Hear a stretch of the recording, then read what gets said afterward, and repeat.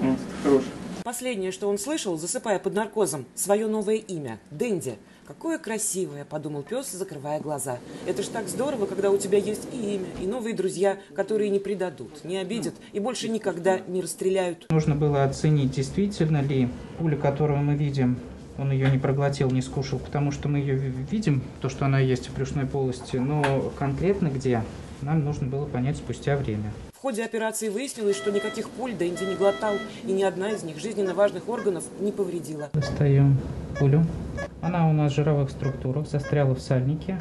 Надеюсь и знаю, что у нас все будет хорошо и у нас все получится. Вердикт хирурга неутешителен. В добродушного и ласкового пса выпустили семь пуль. У него переломаны и изрезаны лапы, гематомы на глазах. Его расстреливали, расстреливали прям целенаправленно. Помимо того, что его расстреливали, а, еще и сломали лапки, повредили глазик и порезанные мягкие ткани на лапках, соответственно, еще и пытались, может быть, его и зарезать. Но чувствует себя, песика назвали Дэнди очень хорошо, выписали его с клиники. Не бойся, все ребятки дружные у нас. Выписать-то выписали, но кто и зачем пытался уничтожить безобидного пса в одном из парков, пока остается загадкой. Известно ли, что пожилая пара нашла его в коробке. Напуганную собаку сначала забрали сотрудники велопроката, потом волонтеры, доставившие израненное животное в зооприют. У него ножевые ранения на лапе, у него сломана лапа в двух местах – у него э, два было открытых следа от пули. Все это досталось одной маленькой собаке весом в 3 килограмма.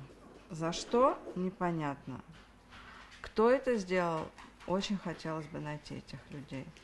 Очень хотелось бы, чтобы они за это ответили. Делом Дэнди сейчас занимаются в Госдуме. Уже направлены заявления в полицию. Та начала проверку. Готовится депутатский запрос в прокуратуру и МВД, чтобы расследование было максимально тщательным, а преступникам было неповадно. Но, слава богу, есть сейчас реальные сроки, которые дают.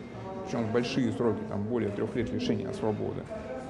А, значит, живодерам а, эти инциденты, они продолжают случаться. Тот, кто не понес наказание за жестокое обращение с животными, потом совершает преступление в отношении граждан.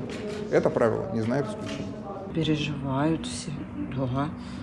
Сколько людей тебе помогает. Дэнди, отойдя после наркоза, привыкает к своей новой прическе с залысинами на местах ранений.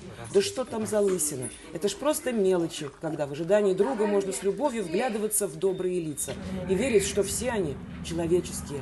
Ольга Стрельцова, Валерия Сгоева, Михаил Жучков, Андрей Булычев, ТВ-центр.